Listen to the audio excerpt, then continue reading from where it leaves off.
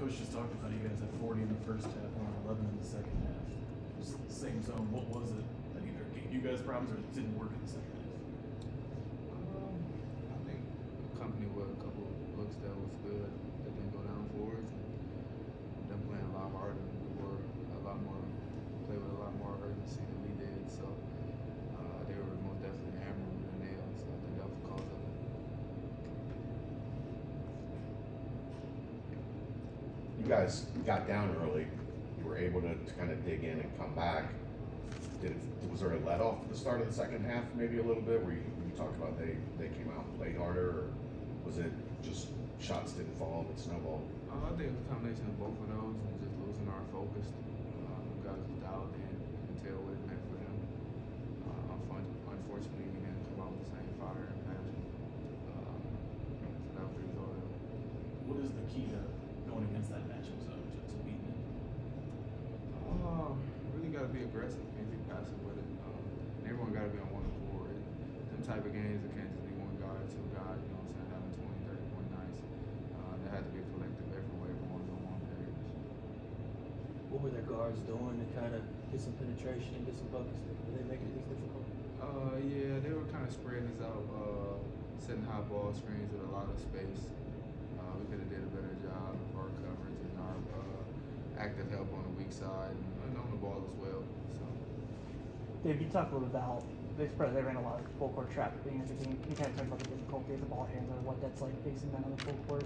Yeah, you can tell that the goal with the uh, defense to kind of take you out of your rhythm, uh, take you out of doing what you do each and every day in practice, and they did a good job of that. So, One of the ways to beat that is to get the, the zone scrambling. yeah. I felt like in the first half you were able to do that. The second half it, it didn't. Was that not making shots compounded and then they they looked like they were comfortable in the zone in the second half. Yeah, most definitely.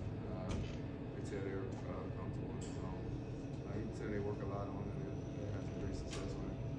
There was a stretch in the second half, in five minutes almost, you guys held them scoreless, but it was just hard for you guys to close that gap.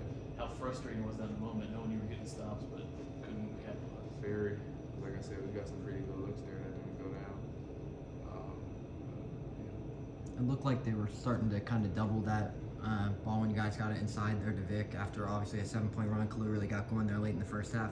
Was that the look you guys were expecting? Was them double and then you guys kick it outside, or was that just a way that zone played out? yeah, most definitely. We knew when we get inside, they were going to dig it out.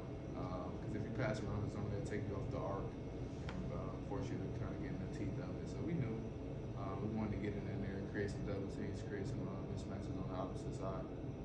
It obviously doesn't get any easier with this Maui Invitational coming up.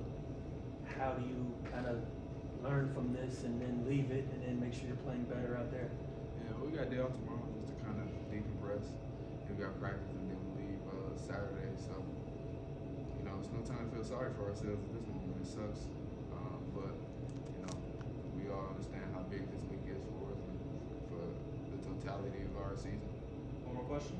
Any benefit, you know, any benefits for a new team to have some adversity before you go out there and obviously face a really tough team? Um, you know, if probably asked me for the game, I said no. But, you know, hindsight, I guess, know, try to take some positives from it.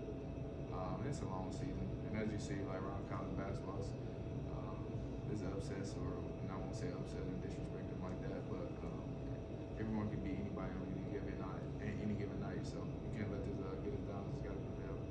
All right, thanks guys.